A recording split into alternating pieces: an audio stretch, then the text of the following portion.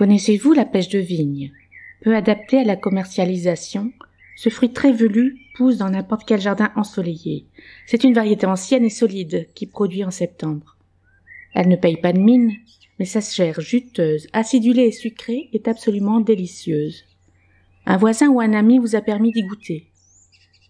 Alors gardez les noyaux. Ce péché se reproduit fidèlement par semis, ce qui vous permet assez vite de déguster vos pêches du jardin. Les noyaux seront semés dès que possible, dans un mélange terre de jardin, sable, compost. En germant dans la terre de votre jardin, les futurs pêchers s'y adaptent au mieux.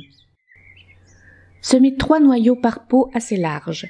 On peut espérer une ou deux germinations sur trois noyaux.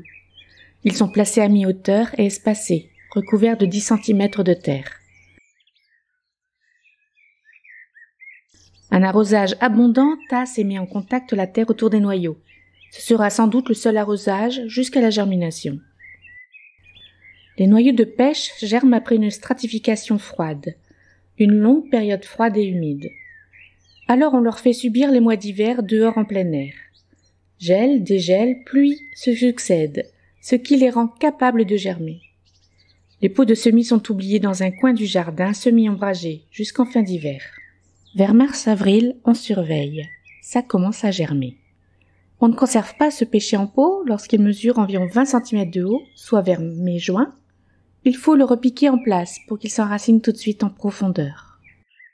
Vigoureux, rustique et résistant aux maladies, ce pêcher grandit vite et commence à fleurir à partir de sa quatrième année.